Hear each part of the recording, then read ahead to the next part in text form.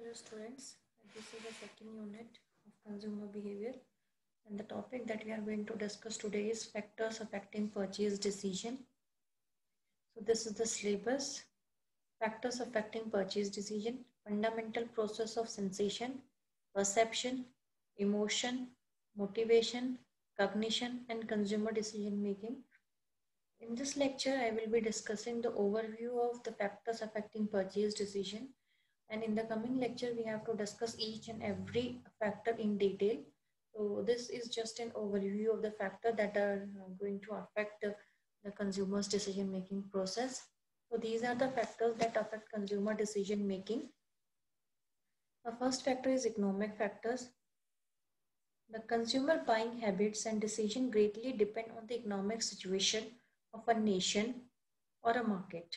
If a nation is strong and prosperous, the economy will be strong and which will ultimately lead to greater supply of money in the market and which in turn helps in increasing the uh, purchasing power. So uh, strong the nation, the more will be the purchasing power. The reverse in the reverse scenario, if less money is in the market, so the purchasing power is also less. So let's discuss in brief uh, the factor that I have mentioned here. There are other factors also. Uh, I have not mentioned all the factors here. So we will be going uh, discussing those factors in detail in the coming lectures. Now, the first factor is personal income. Personal income uh, can be divided into two parts. That, that is disposable income and discretionary income. Consumer is a rational person. Before spending anything or spending any amount of money, he will think uh, twice. So it all depends on how much income that a person has. So a disposable income is a summation of savings plus spending. If more the disposable income more will be the spending. Reverse in the reverse scenario if disposable income is less then spending will also be less. Then uh, coming to the discretionary uh, income that is the income which is left after fulfilling your basic needs whatever amount of money is left that you can spend in uh, other things. So uh, if you have higher discretionary income so uh, there is a great chance that you will be uh, spending the money in enhancing your standard of living. And in reverse scenario if you have lesser amount you will not uh, enhance your living standard that is family income family income is a summation of uh, all the in incomes of all the family members suppose a family member of, uh, of five so, and all are working. So the summation of all will be the family income. So more the family income, more will be the expenditure. Now, uh, consumer credit. Credit here is in late term, late term if we understand that is udhar. So how much credit capacity a man can bear? How much more credit paying capacity, a person has? More the credit bearing capacity is there, more will be the spendings. Then coming to uh, the savings part if a consumer wants to save more so he will uh, the expenditures will be less automatically so it all depends how a consumer wants to uh, save and how much he wants to save that also affect the purchasing decision then consumer liquid assets assets liquid assets means uh, which can be quickly converted into cash uh, it can be in terms of uh, the cash in hand or the bank balance or the stocks so more will be the liquidity, the more will be the chances of uh, spending money. The next factor is your uh, psychological factor. Human psychology is a major determinant in consumer behavior. So a marketer should try to understand the psychological factors that affect consumer behavior. Although it is difficult to measure these factors, but these are powerful enough to influence the decision of a consumer. So uh, let's uh, understand in brief what are the factors. The first one is motivation. The factors motivating consumer to buy a product uh, depends uh, or depends and influence the consumer decision making process. For example, Maslow's uh, hierarchy of needs. There are five uh, levels of needs that we have discussed in the earlier lecture. So five needs represents the five level of motivations which uh, uh, encourages consumers to purchase products. Um, the next is perception of consumers. um, perception is how you are going to perceive different things so it all uh, starts with the process of selecting then organizing and then interpreting the information and then coming to a conclusion. So it all depends on individuals uh, way of uh, seeing things. So different person has different perception. Then is your attitude. Attitude can be favorable and unfavorable. Uh, it can be changed but it is difficult. Once it is formed but it is not impossible so it all depends that what kind of predisposition he has in mind uh, what kind of experience he had the product with uh, uh, with the product. So on the basis of that experience which dwells in his mind uh, it, it uh, leads to favorable and unfavorable outcome. Attitude and its theories we have already discussed in the previous unit. Then coming to the uh, learning part.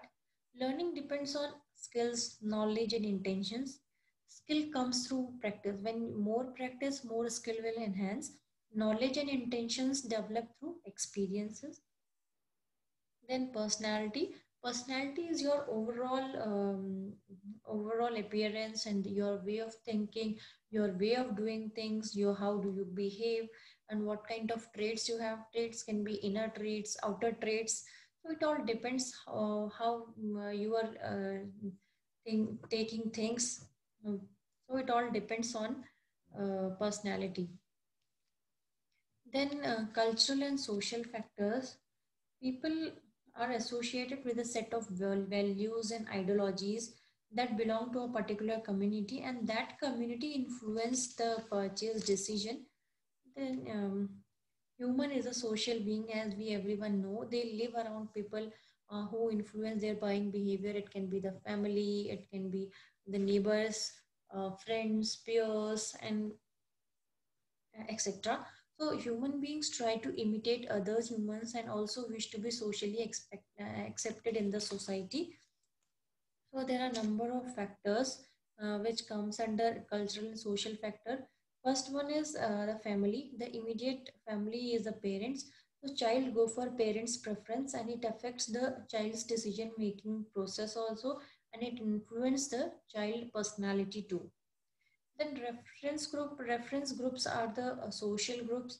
Uh, people follow these groups reference and they try to associate with themselves. Opinion leaders, opinion leaders, experiencer of the product, they give reviews about the product after uh, after using that product in terms of satisfaction and dissatisfaction. Uh, then social class, social class in India, the society has been divided into three categories that is rich class, middle class and poor class and different classes, different uh, purchasing power. So it all depends what kind of purchasing power they had on the basis of that the decision uh, is taken. Then caste and cultures, uh, different different people have different caste and their values and norms, beliefs are different. So accordingly, they take the uh, purchase decision.